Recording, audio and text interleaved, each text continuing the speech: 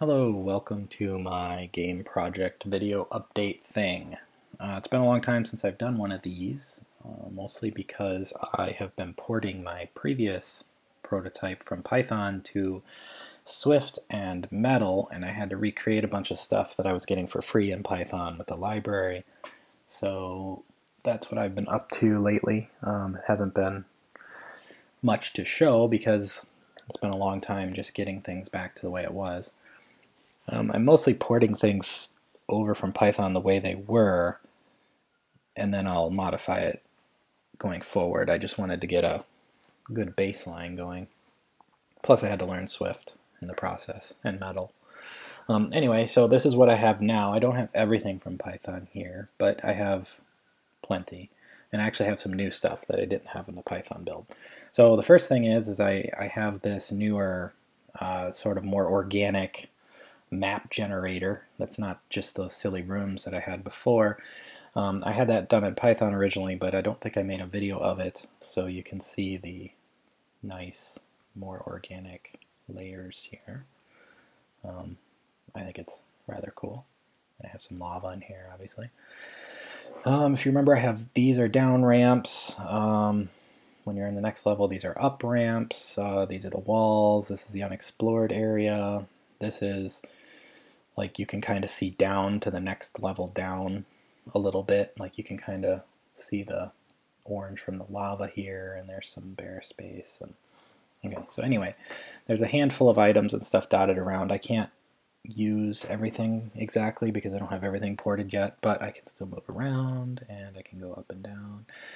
Um, so that's always fun, and I can pick stuff up again. Nothing new there. Can throw stuff. Um, anyway, the, the, the cool thing here, of course, is that this is now all in Swift and using Metal, and that's been a lot of fun. But I have some new stuff now, which is that I can I can click and it will path to wherever I clicked, and it will walk there, which is fun. I, I may have had this before. I had a version of the Python one that did something like this, but um, so that's fun. But the really the really cool stuff here is that I'm I'm starting to expand more towards what I want the game to be. And this, this is new stuff. So I hit my designate button and my cursor changes, and now I can designate areas to dig. And right now digging is the only thing that, that works, but you know, one step at a time. All right, and I hit escape, he goes and he digs. And that's pretty fun, I think. That's more, you know, that's that's what I've wanted to move towards, obviously, for quite a while. Um, you can designate like digging.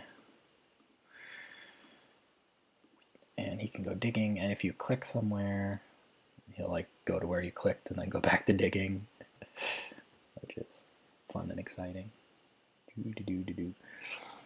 Um, and of course it you know it understands when the map changes right away and it'll change how it was digging. So if I dig a ramp there, you know, and I go up to this level, you just, you came, you came right up this ramp, obviously, to get there. Um, click there, goes down these ramps here, and if I remove those, oops, then he'll use the other ramp, of course. Um, previously too, I also used to have all the edges where the Z level changed were always all ramps, and that was kind of boring because the path was you know always pretty easy. So now it it only puts ramps in occasionally, so that's kind of fun because then he has to, you know, the little guy has to path around a bit more convoluted to get to places.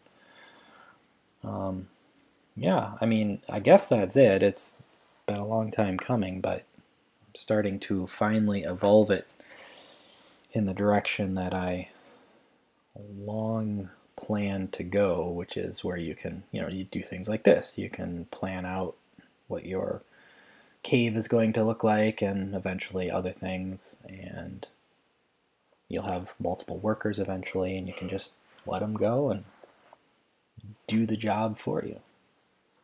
Anyway, I guess that's all for now. Um, thanks for watching. Bye.